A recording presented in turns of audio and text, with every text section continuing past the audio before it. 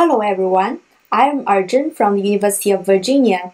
Today I would like to introduce our work, FluidMeet, enabling frictionless transitions between in-group, between-group, and private conversations during virtual breakout meetings. This is a joint effort of my amazing colleague Ashik Azim and my wonderful advisor Seongkook Heo.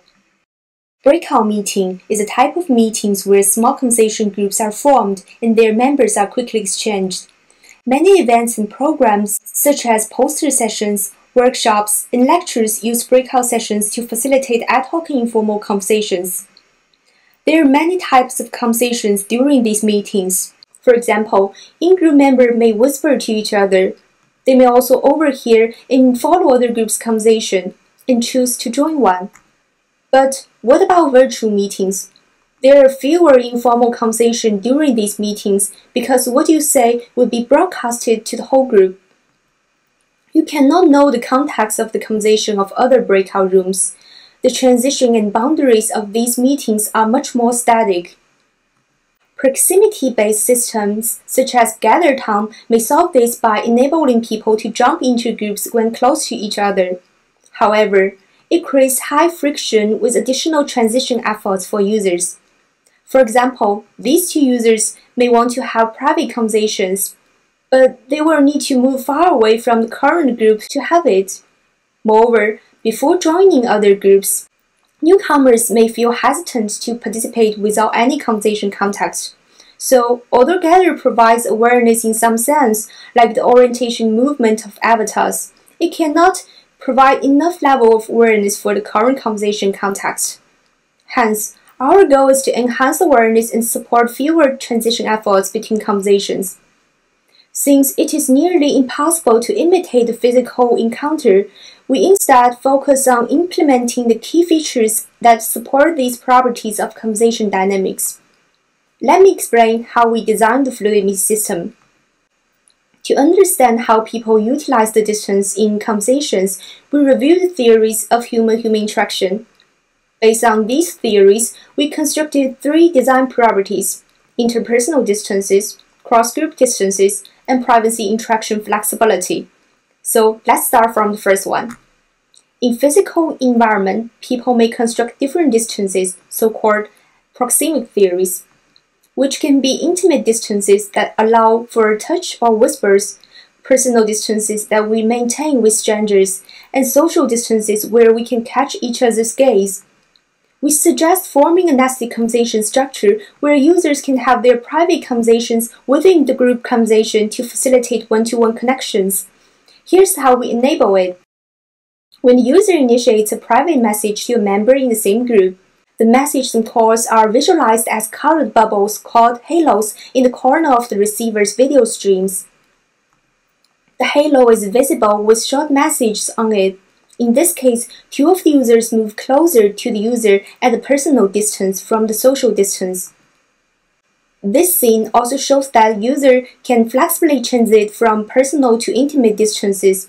When the user get a private call request, they can either reply to the message or select the camera button on the halo to start the private call. In both users' views, there's an indicator showing that two users are in a private call. Other users can see frozen video of the two users in the private call. Moreover, when two users are in a private call, a user can use the switch handler to switch the mode back to the group conversation without stop the current private call. This shows the fluid transition between the social distance and the intimate distances. Now we've seen what's happening in the within group dimensions. Before joining the group, people may overhear some split words or find something of interest to them. How can we enable these between group interactions? Here comes our second design property, cross-group distances. In co-present collaborative activities, people often orient themselves in a different spatial arrangement, so-called F-formation. These arrangements can be categorized into either closed or open arrangements. People tend to use open arrangement to send a message to others whether they are open to them joining or not. However, the protected space of F formation does not consider the group's immediate environment. There is a C space that allows outsider to get the context of the group and allows the group to show their readiness of conversation to the outgroup members. Similar to the use of C-space in the real world, an outsider close to the group will have more awareness of the group's discussion.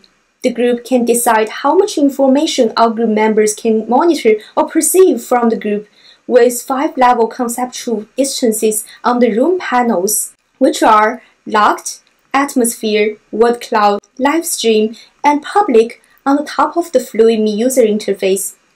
Moreover, we enable a room controller to support the transition between these five distances. The outgroup user can also request levels from the group. In this scene, Ashik requests live streaming to the classroom from the menu on the room panel. The request will be shown as a red grid on the room's controller, and with the group's approval, Ashik can now see the live stream from the classroom. As I explained, our system allows people to utilize interpersonal and cross-group distances. But in the real world, these changes and transitions are dynamic and subtle, so it's not something that can be set as a static value because people's needs change by context, time, members, and many other factors. This has been identified by Altman as the privacy regulation theory.